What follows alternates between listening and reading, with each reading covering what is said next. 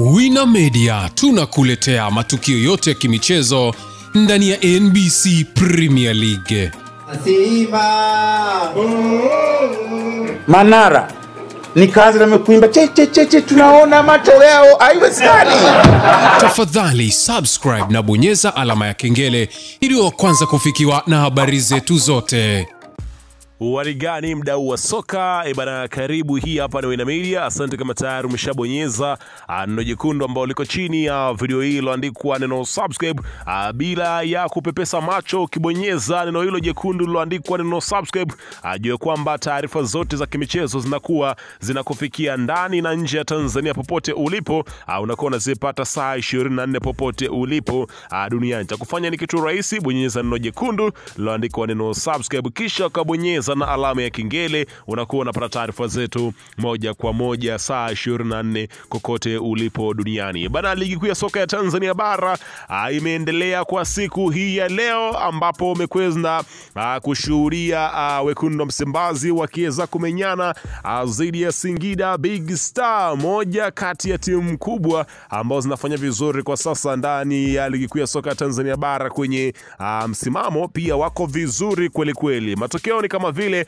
ambavyo umeweza kuyaona na kila mmoja ameweza kupata kile ambacho alichokuwa akiweza kukisubiria. Kumbuka hii ni raundi ya pili ya ligi kuu ya soka ya Tanzania bara NBC, na hiki ambacho kinachofuata sasa hivi ni msimamo wa ligi kuu ya soka ya Tanzania bara. Kama ilivyo kawaida yetu, ah, tumekuwa tukikuletea ah, msimamo wa ligi kuu ya soka ya Tanzania bara kuweza kujua timu yako inashika nafasi ya ngapi kwenye msimamo huu ambao unaendelea ah, kwa hivi sasa. Kuanzia nafasi ya 16 yupo Ruvu Shooting akiwa na alama 14. Nafasi ya 15 Polisi Tanzania akiwa na alama 15. Nafasi ya 14 Coastal Union akiwa na alama 19. Nafasi ya 13 Dodoma Jiji akiwa na alama 21.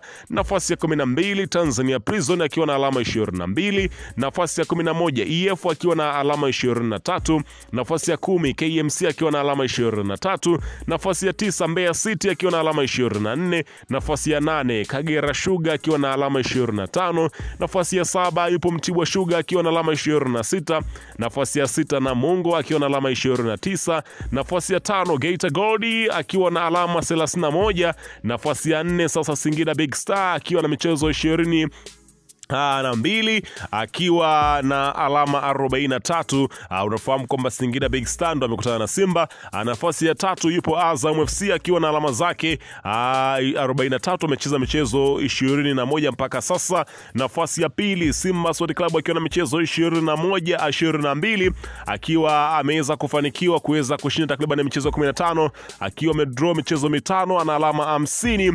Nafasi ya kwanza Young African akiwa na jumla ya alama 56 akiwa kwenye msimamo wa kwanza kabisa, michezo ni 21, ameshinda michezo 18, amedraw michezo miwili na kupoteza mchezo hata mmoja. Matokeo haya ni kabla ya mchezo huu wa Singida Big Star. Kama ah, Simba akifanikiwa kuweza kumfunga Singida Big Star, ah, basi Simba anafikisha jumla ya idadi ya alama 53, anakuwa nafasi hiyo hiyo ya pili, lakini ah, kama Singida Big Star akiweza kufanikiwa kupata sare na Simba Sport Club, basi anajiongezea alama moja na kuwa na alama 44, anapanda mpaka nafasi ya tatu, lakini Simba anajiongezea alama moja na kuwa alama 51. Lakini kama Simba akifungwa na Singida Big Star, basi Singida Big Star anakuwa na alama 46, anapanda mpaka nafasi ya tatu akiwa anamwacha Azam FC ambao wamefungana kwa pointi uh, wote wana pointi 43. Mchezo wa kesho ni Yanga dhidi ya Namungo ambaye anashika nafasi ya sita. Weka maoni yako hapo chini juu ya msimamo huu wa ligi kuu ya soka ya Tanzania bara. Wewe unauonaje? Unakwenda sawa sawia kulingana na timu yako?